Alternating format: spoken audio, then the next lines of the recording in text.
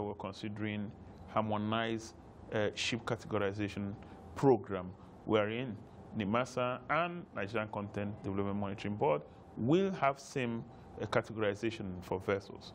The other one is that we're also looking at a projected demand uh, trajectory for vessels that will be needed in the oil and gas industry over the next five to 10 years so that we can get the local entrepreneurs or the ship owners prepared to meet the demands of the oil and gas industry.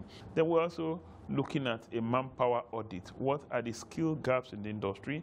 What skills do we need in the industry? And how do we grow those skills to meet uh, local demand and demand of the industry? And as part of the manpower audit, we're going to vet the, the NIMASA Nigerian Seafarers Development Program, uh, wherein we are also looking at jointly providing sea time for those who have undergone the program to enable them qualify for the certificate of competency so that they become employable. How is that program going right now for the seafarers? How is it going right now? And is there a time frame for them to receive this certification? We've so far gotten 2,500 persons undergo the program, but in the interim, we have secured, as an intervention again, we have secured sea time for nothing less than 300 persons in the next one month. Now they will be going, they will, they will be undergoing sea time in Egypt and in the United Kingdom. Uh, in the days ahead, or in the months and weeks ahead, we hope that more persons uh, will be provided sea time. But there's another collaboration with Nigerian Content Development Mon uh, Monitoring Board. We are looking at a second collaboration with the Ship Owners Association of Nigeria. These two are all aimed at providing sea time for our young cadets that have undergone training, are qualified as either uh, marine engineers, qualified um, as maybe nautical scientists, um, seafarer, but they need to uh, carry out their sea time and get the necessary certification. So away from capacity building, let's go to the environment now. To what extent is NIMASA adhering to MARPOL Annex 6?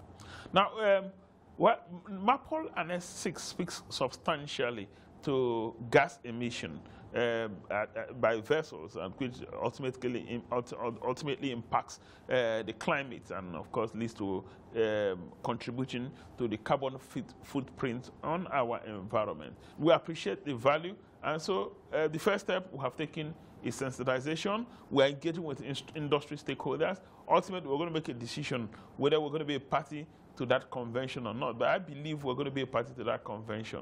Um, so far, so good. In preliminary studies show that we're already beginning to reduce carbon footprints uh, within our maritime domain. Um, we, are, we are going for clean fuel. Most ship users know that that's what we're doing. Uh, we prefer gas, ships powered by gas, and um, uh, ships powered by, by fuel or bunker with less sulfur um, imprint in it. So I think that we're making progress in that direction. Right. You, you also spoke a lot about the Cap Cabotage Vessel Financing Fund, but talk us through those reasons, particular reasons that are, you know, delaying the disburse of those uh, funds. Well, we're learning from the mistakes of the recent past, especially as it relates to ship acquisition and shipbuilding fund, and as well as the aviation fund. Uh, we're learning from those experiences. And so what we're doing is to look at the guideline again and see if there are other models that will achieve the same purpose without going down the path of the ship acquisition and shipbuilding fund. We don't want uh, a case where we would disburse funds and we're not going to be able to recover it. Mind you, the funds will be to grow tonnage. It is not a grant given to businessmen and women to take and build more houses. So um, we're looking at a financing structure. We think that what we have is good, but it needs to be strengthened, wherein the primary lending institutions will bring in 35% of the funds that we need. The, from the cabotage vessel financing fund, you can access 50 as 50%, uh, whereas the man who is the visionary of the project will also contribute 15% equity.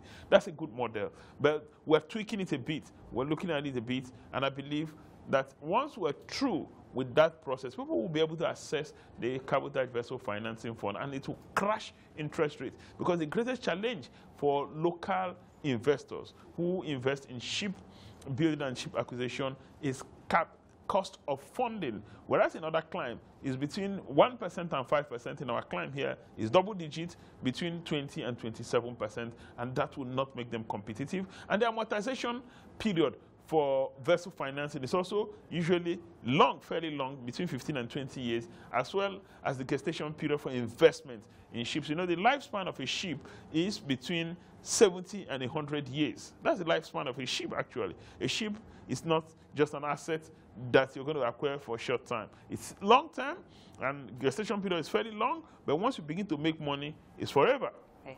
But some mariners are of the opinion that you know these funds that can be put in a maritime bank, or, you know, to you know turn around these funds. What's what's your take on that generally? Yeah, we've looked at the model of the maritime bank. It's got its own challenges. Now, who are those who will invest in maritime bank? Is it going to be another government bank? And people will see the funds that they're in as their own dividends of democracy. Is that what we're looking at? I don't think the maritime bank is the solution. We're looking at different models. But one of the models we're not looking at at the short term is the mod, uh, the the the uh, what's it called maritime bank option. It's not one of the options we're looking at. Okay, so what other models are, are you looking at? Now we're looking at where we provide guarantees for our entrepreneurs. If they're going to source fund from the international market, you now now the country can't send guarantee for them. Listen, there is a contract like for a them. Sovereign guarantee. Sovereign guarantee. There's a contract for them. If you uh, partner with them and build this vessel, there's already a contract. If they default, we'll take charge of the vessel and pay you back your money. And so it's no risk for those who are investing, those that are partnering with, those the ship building companies that are partnering with. But most importantly, we're looking at in-country value addition and retention of um, um, capital in country. And so for us, our preference is that these vessels are built in country, not in China, not in the shipyard of Korea. And to do that, we need to invest in infrastructural development. We need to invest in our steel industry. We need to invest in building skills base. Building vessels is a fairly complex process that involves different skill. Those who do air conditioning, those who do electrical, those who do welding, those who, naval architects who design the vessel, it generates a lot of employment, but it involves different skill too. And I believe that it will add more value here, it will create more employment, it will help us retain more capital. Right, and finally, what strategies are in place to tap into the great potential of the blue economy? Now, as a first step, we want to put in place a framework to tap into the blue economy. The Federal Ministry of Transportation has commissioned a team to develop the country blue economy policy. Now, to follow closely at the heels of the country blue economy policy is a country blue economy strategy plan. And now it's going to be a roadmap on how we tap into the blue economy, including seabed mining and, of course, all the resources you can get from the ocean.